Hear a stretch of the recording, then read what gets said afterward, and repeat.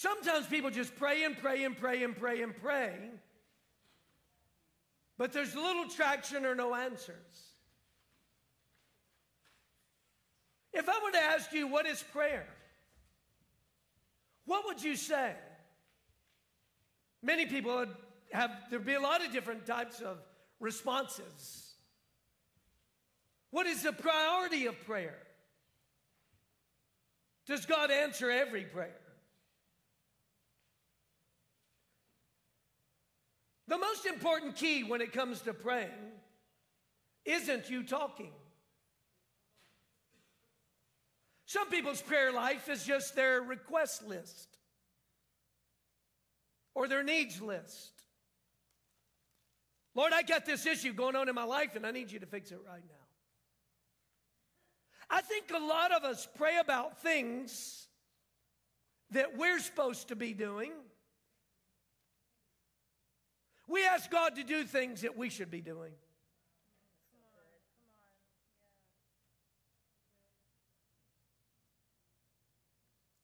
And that's our prayer list. And I'm not saying there's anything wrong with requesting. Scripture says you have not because you ask not.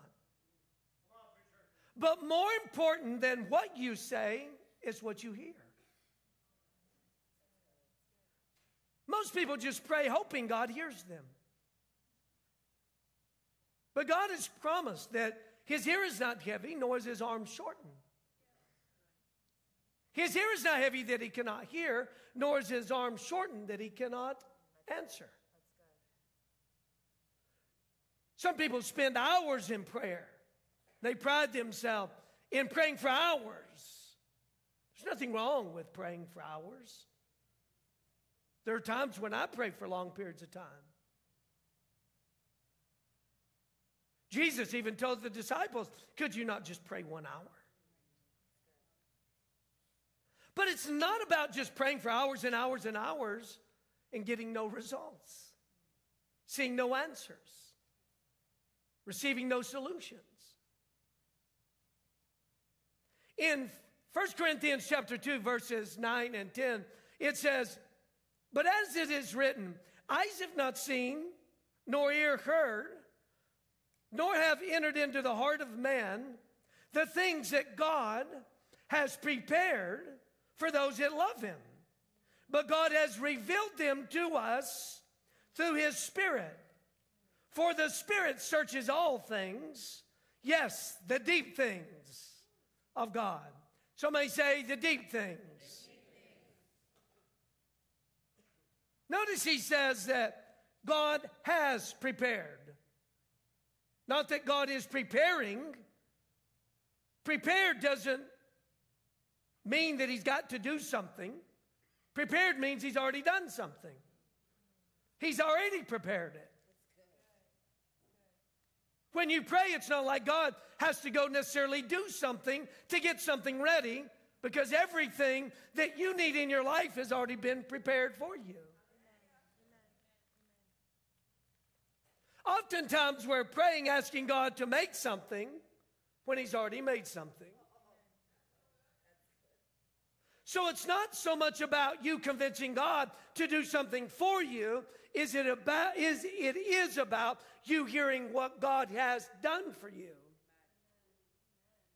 As you're living life from day to day, countering things that you didn't expect or see coming but that you hear God say, here's what you need to do. Here's the answer. Here's the solution. He gives that to us. Says he has prepared he has prepared it for those that love him. That's a key. But by his spirit he reveals them to us. What does he reveal to us? He reveals what He has prepared for us, to us, by His Spirit. A carnal Christian will never get this. A fleshly Christian will never get this.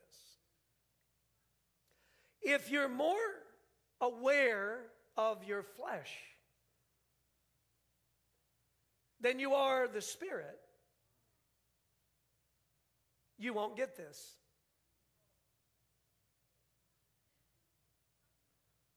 But he says, by his spirit, he will reveal. So when we pray, it's more about spending time listening, because that's real prayer. Real prayer isn't about you just having a one way conversation. I'm going to rush into my prayer time and I'm going to tell every God, tell God everything I'm thinking, and I'm going to rush out about my day and I'm going to look back at God as I leave and say, Now make sure you take care of all that. Versus going before God. And it's okay to lift up some of the challenges or problems or frustrations that you're facing.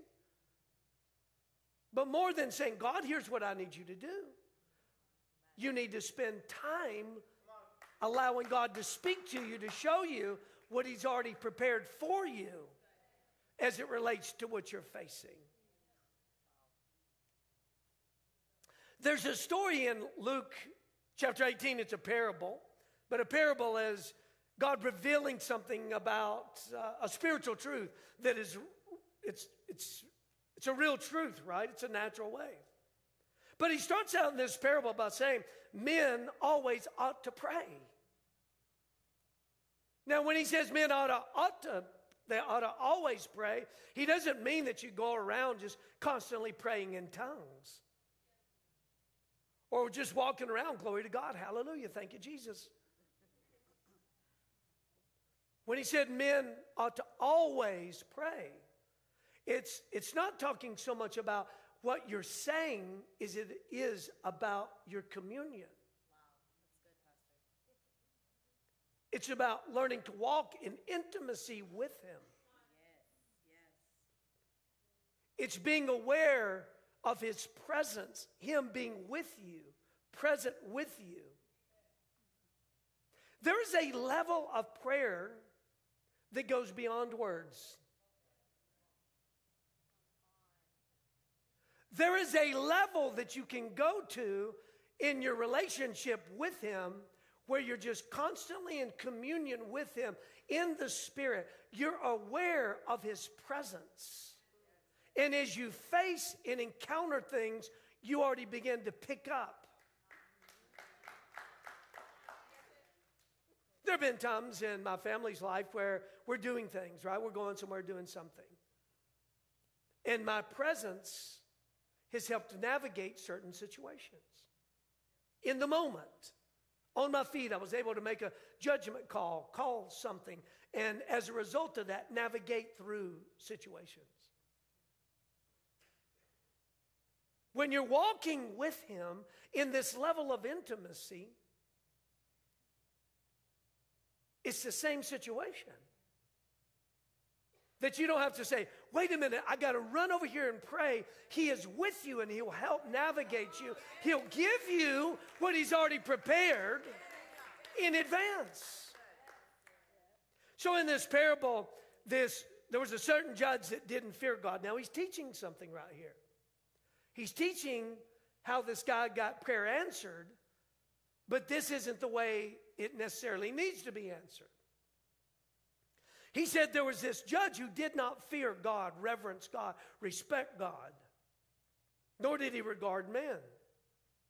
Now there was a widow in that city, and she came to him saying, Get justice for me from my adversary. And he would not for a while, but afterward he said within himself, Though I do not fear God nor regard man, yet because of this, because this widow troubles me, so he's teaching that your prayers can trouble God.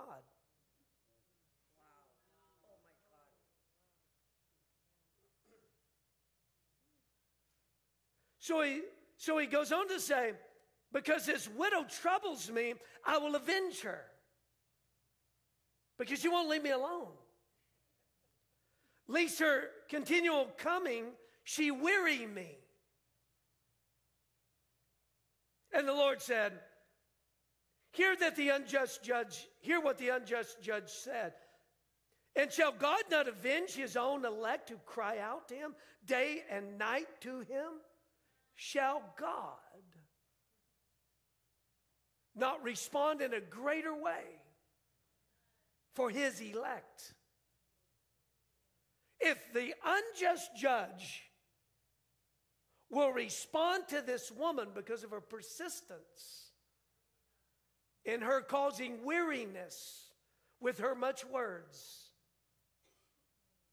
will God not do greater for you? God not avenge his own elect day and night, though he bears long with them. Notice he says he bears long with them. You don't have to do it this way and it take a long time. Now, if God heard your prayers the first time, why did someone have to wait a long time for God to answer those prayers?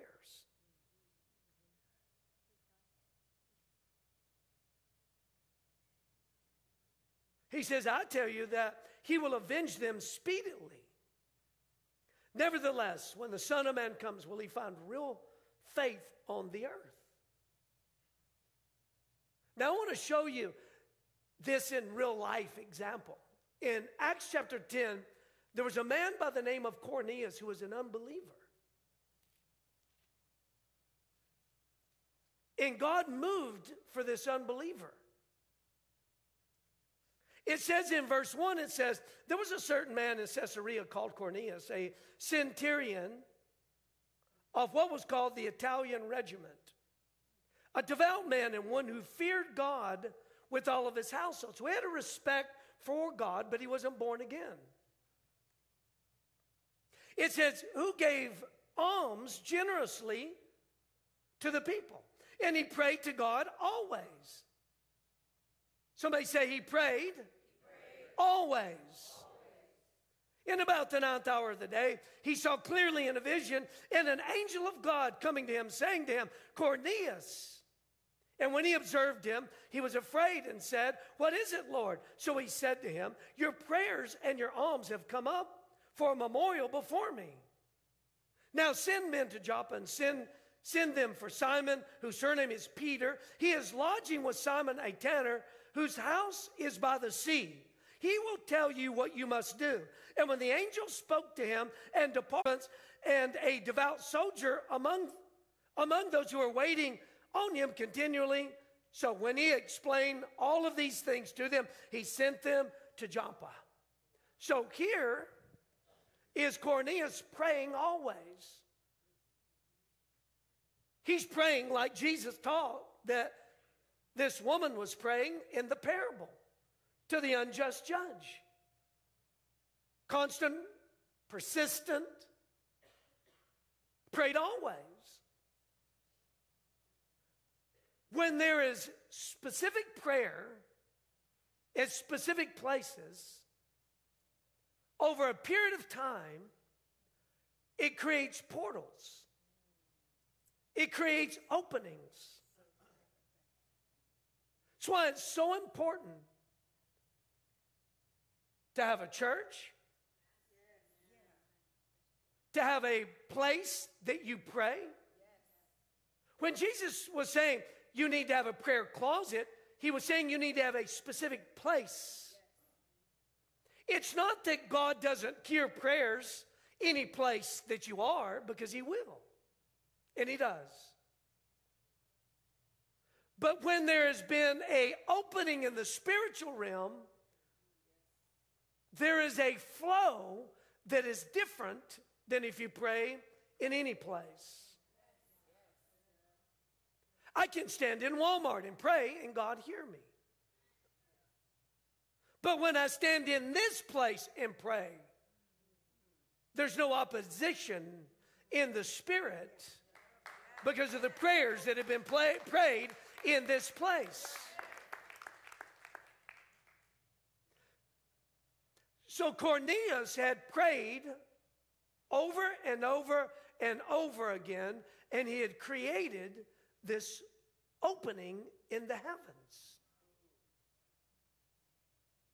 And because of his continual prayer in this place, it was a place that released angelic encounters. I've taught you this that angels aren't with you everywhere. They're not with everyone. They don't go with everyone everywhere. Angels are attracted to right environments. Angels are attracted to attitudes. Angels are assigned to assist us to do one thing and one thing only, and that's to do the will of our Heavenly Father. Angels only respond to the will of God. It's always measured through the context and the lens of Scripture. So, in this place, Cornelius was praying, and the angel shows up. We have gotten so used to reading about angels in the Bible that we think that's the only place they can exist is in the pages of a Bible. Angels are in this place right here today. Sometimes I'm aware of an angel's presence. Sometimes in my heart, I just know there is one present. There was a service that we had a long time ago, and Christy said there are angels that are literally flooding down the aisles of the auditorium and filling the stage. Because of this man's continual prayer and his giving, now you mix giving with praying, it does something different in the spirit. It says that his prayers and his giving, well, actually, it says his giving first. So he gave first and prayed second. Most people pray first and give second. They pray about, is that really you, God? Should I really do that? Cornelius gave first and prayed second. It says his giving and his prayers went up before God as a memorial. You go to certain national parks and you may see some type of monument, a memorial to remind you of something. When you go there, you see these monuments, they, they stand out. They're designed to get your attention to remind you of something. His giving and his prayers went up before God as a memorial. That means they stood out above everything else that is happening in heaven. His prayers actually rose higher than everybody else's prayers that were rising. I've been to different parks where there were massive memorials, whether it was in London or Washington, D.C., or, or in the South, certain parks, there are big memorials. And sometimes you see a lot of people in these places. And everyone is relatively about the same stature at these places. But a memorial stands out head and shoulders above everyone that's standing there, observing and watching. You go to the Statue of Liberty, people look this small. But the statue can be seen from so far away. Our prayers rise before God, but there are sometimes that they can become a memorial before God. Meaning that when God looks, he sees them standing out above every other prayer.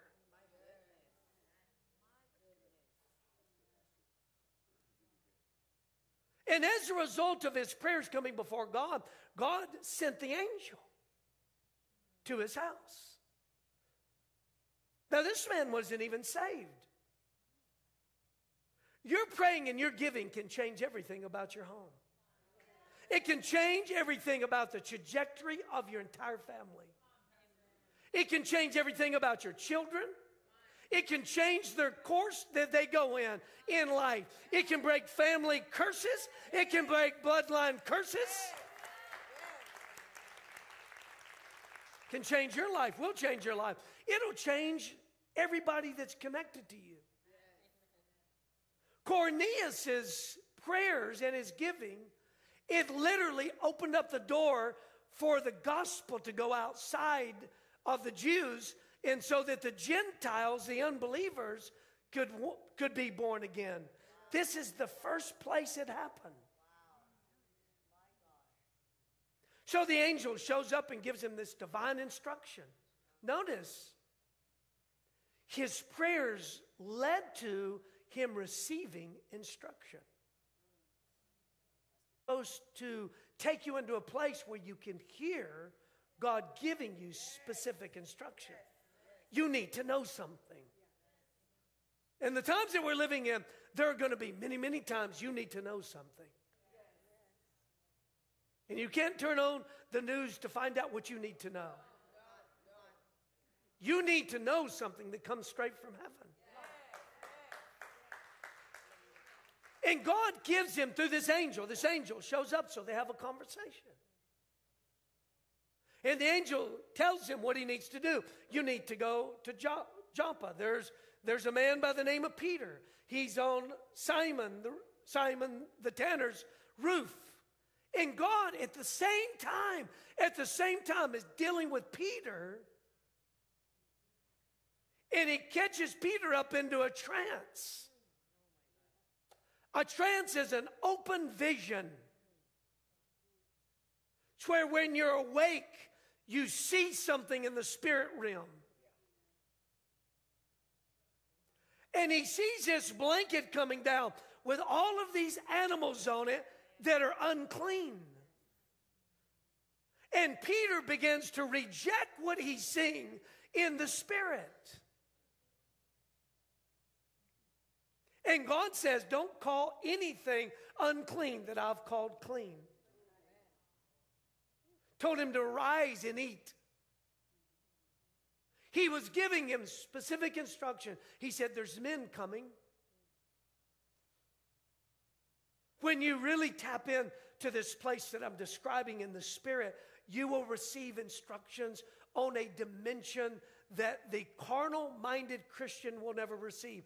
They are good people, good loving people, but they will live their life off of pop up devotionals and they'll live their life praying little bitty two minute, three minute prayers lifting it up before God, hoping that God hears them, going year after year after year, seeing little to no answers because they've not yet learned how to die to their flesh, how to get their soul empty of all of this worldliness and tap into the Spirit so you can hear what God is saying in response to what you're encountering.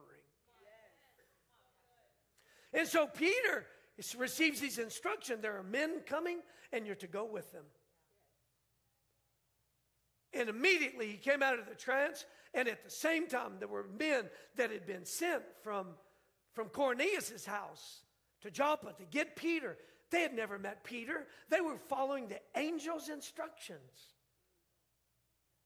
They show up at this place, knocking on the door, and Peter goes with them. Peter comes to Cornelius' house. Cornelius' house is filled with his family members, with his friends.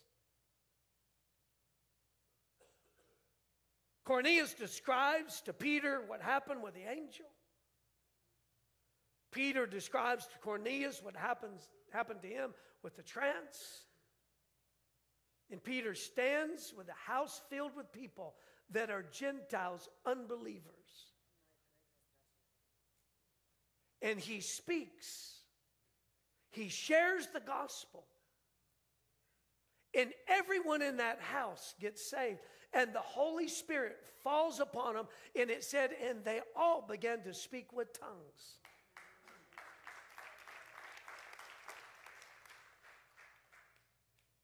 These are keys. This is how you get your loved ones saved.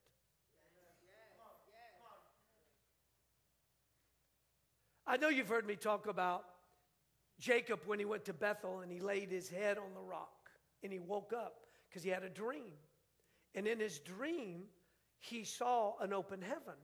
He saw a ladder ascending from a, ladder going from the earth into heaven. And he saw angels that were ascending and descending. They weren't descending and ascending, they were ascending and descending. Angels were already there. Angels didn't show up because he was there. Angels were already there. Now, let me explain to you why angels were already there. Because in that moment, he received specific instructions. God ministered to Jacob. When he woke up, he said, This place is awesome. This is none other than the house of God. Now, what you may not know is that if you trace back through Scripture, that Abraham had gone there to pray.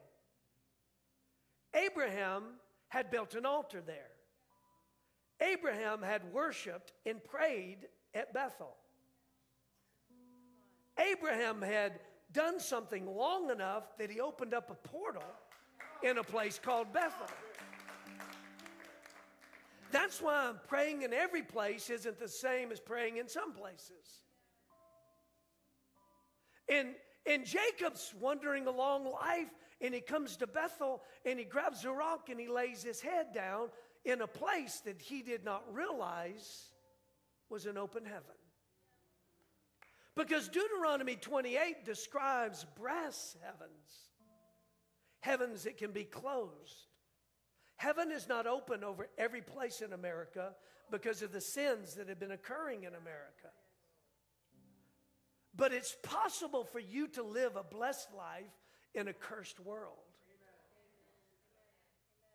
You can navigate through the curse with an open heaven when you can stand right next to somebody, the heavens are closed over, but they're open over you.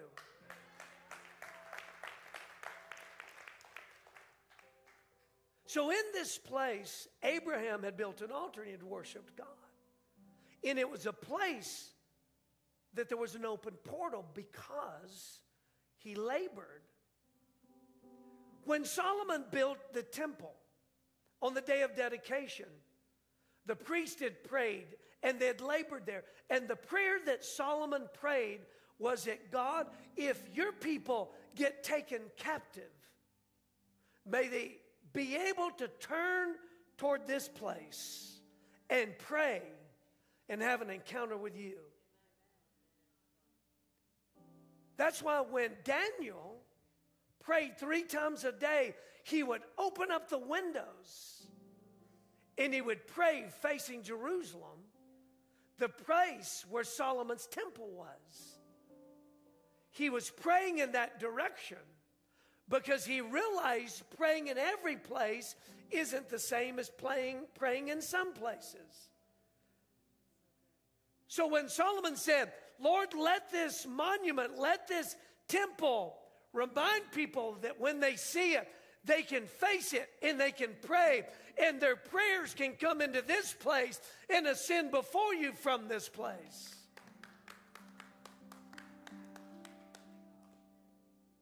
And so Daniel prayed three times a day with his face turned toward Solomon's temple. And God heard his prayers. Even in the midst of opposition in extreme persecution, heard his prayers. In Habakkuk chapter 2, the prophet said in verse 1, he said, I'm going to climb up to the top of a tower and I'm going to stand and I'm going to watch and I'm going to see what he has to say, what God has to say. The tower is a place of prayer. It's not literally meaning go build a tower. It's meaning you have a consecrated place that is elevated in the spirit above every other place. That it's a sacred place. It could be in a park, it could be under a tree, it could be in your car, it could be in your closet. Most certainly, it's in this place. You see some of these people running around with prayer team shirts on. Their prayer life's not limited to this altar. There's a room that most of you don't even know exists. It's where the coal's placed on the fire.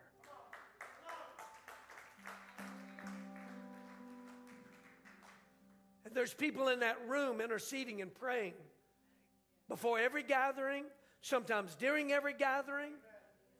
They're interceding, they're praying. But they're not just praying what they want to happen, they step into the Spirit. That's why in Romans chapter 8, it talks about the Spirit makes intercession.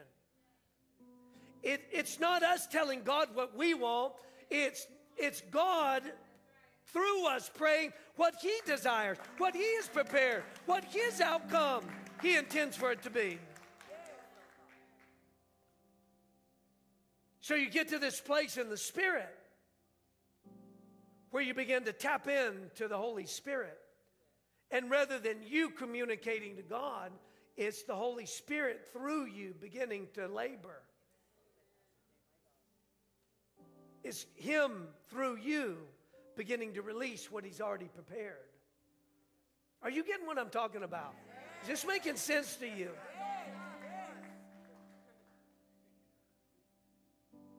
I prayed, I prayed the other day, and I asked God, what do I need to teach about to, today? God said, Go ask your daughter. He did. He told me, Go ask your daughter. She didn't know I was going to preach this today. I asked her, I said, What would you like to hear preached, preached about, taught about? She said, I want to hear about intercession. I want to hear about prayer. Hmm. I walked away.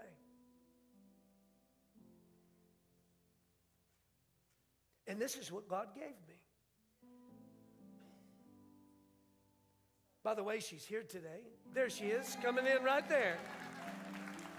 She's been at discipleship training school for two years. She just graduated.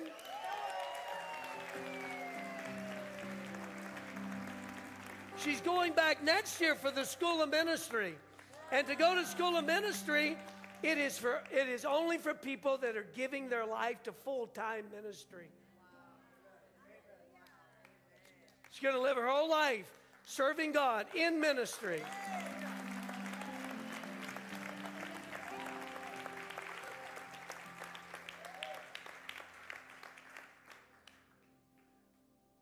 But the psalmist, oh, it's not psalmist, Habakkuk the prophet in Habakkuk chapter 2. He said, I'm going to go to this high place, this tower, and I'm going to stand and I'm going to look to see. It's a place of prayer, but in that place of prayer, he was more interested in seeing and hearing what God had to say than it was me going to God and telling him what I have to say. And then in verse 2, he says, Write the vision and make it plain. What you see, God say. When God responded to him, he said, Now write it down, make it plain. When you hear me speak because you prayed, because you have this consecrated place that you go to over and over and over again, it is a place where I will meet you. It is a place where my voice is easily heard. Some people are like, I pray all the time, but I can't ever hear God. That doesn't line up with Scripture. The Bible says, You're his sheep and you shall know his voice. It shouldn't be, oh, the pastor hears from God. Wish I could hear from God like that. I had a pastor call me the other day, reach out to me rather, the other day. And he's like, I want to learn how to operate in the Spirit the way you are with words of knowledge. He said, Will you teach me? So I gave him some instructions. Two weeks later, He replied back. He's like, I'm blown away. He said, I heard God. I took a step of faith, and God moved and touched somebody's life.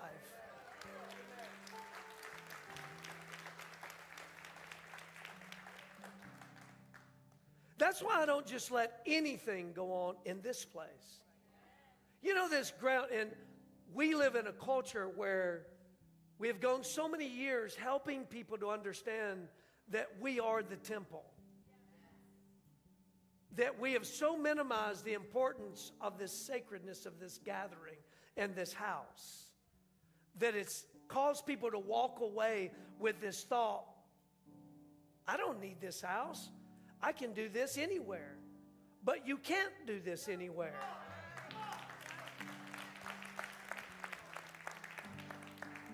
This ground is holy, it's consecrated, it's sanctified, it's prayed in. We have labored. The heavens have been opened. Principalities and powers have been pushed back. That's why it's so easy to worship. That's why it's so easy to pray. That's why it's so easy to flow in the Spirit. That's why it's so easy for miracles to happen. Because the heaven is open over this place. But you can't take an open heaven for granted. Because what opened it is what's required to keep it open. In Deuteronomy, when they begin to get into disobedience, the open heaven turned to brass. And it said it was shut up over their head. And the earth became dust under their feet. Meaning it was a place of spiritual dryness. In a place when the world has gone dry there's still a flow that comes from heaven. And the level of God's river is rising. And your spirit can continually be refreshed. I want you to stand.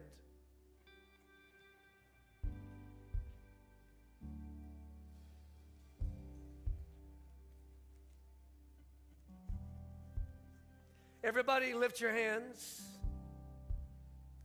Everybody say, Lord Jesus. I want to hear you. I want you to speak to me. I want you to minister to me. Holy Spirit, I'm open to whatever you have, to whatever you want to do. In the name of Jesus. Holy Spirit, Minister.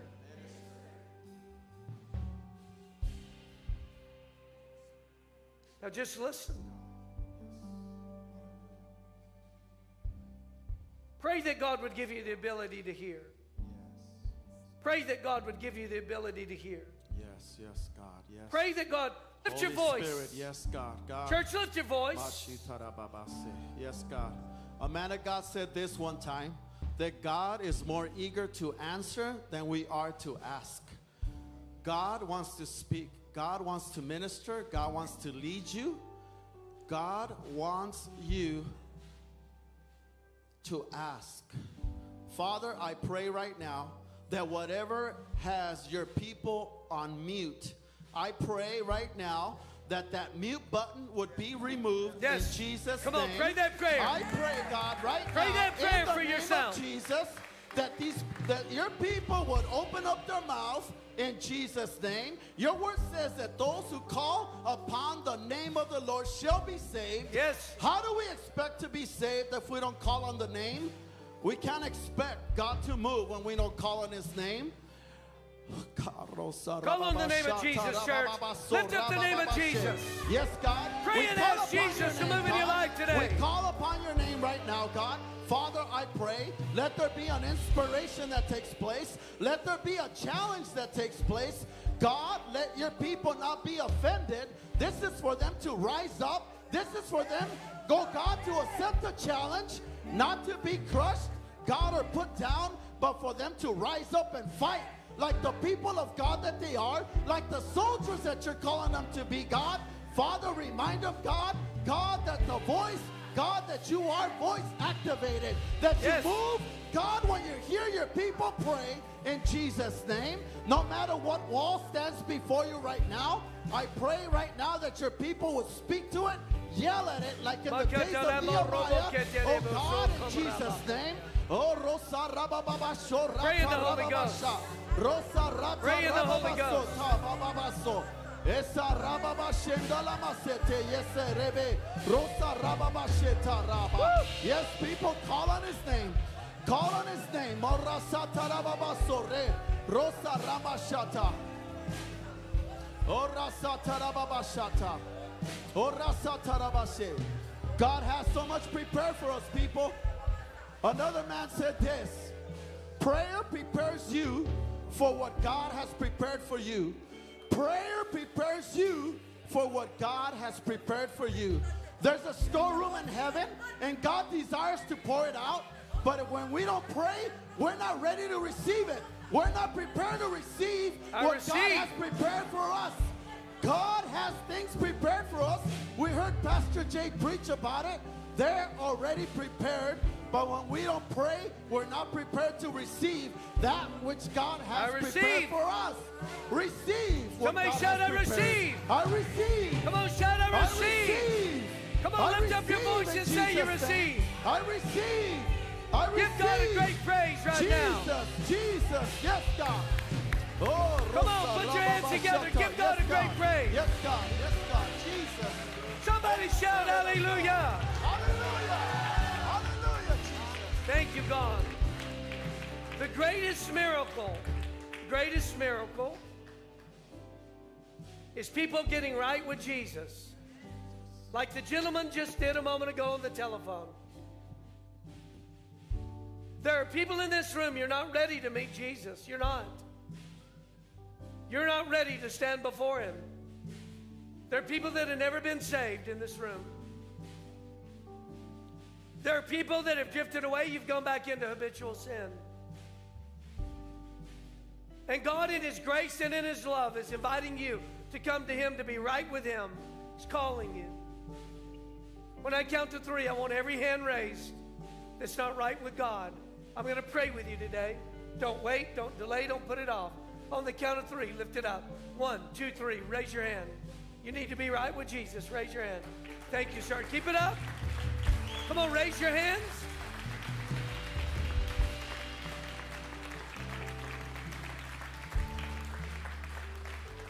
I want every raised hand. I want you to get out of your seat and I want you to come here right now. I want to pray with you. Come on. Come on. Come on. Come on, church.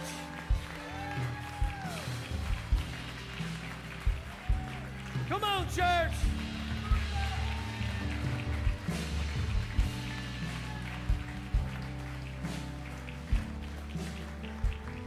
As, uh, as these people are coming, check my hand.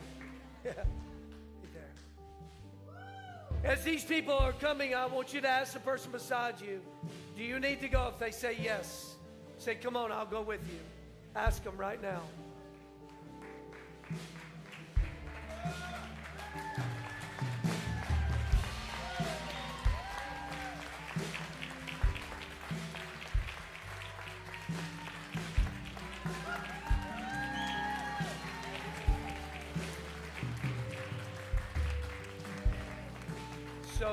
So good, so good. Anybody else? Do you need to come? There's nothing more important than this. This is the most important thing.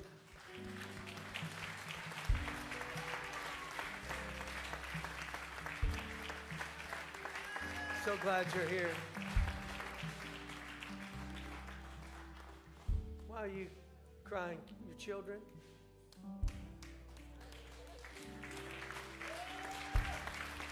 so happy your boys are giving their life to Jesus.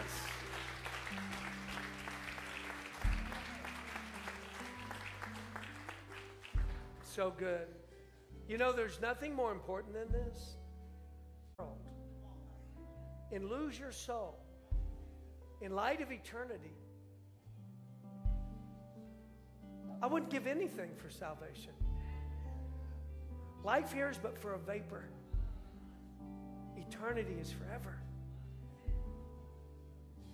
Jesus has given us salvation as a free gift. It's a free gift. Salvation is a free gift. There's nothing you could do to earn it, there's nothing you could do to somehow perform well enough. It's simply God saying, I want to save you, I want to forgive you, I want to come into your life. And I want to invite you to walk with me throughout the rest of your life. And the only way for you to receive what's being given to you is what? Reach out there and take it. Take it. That's how you do it.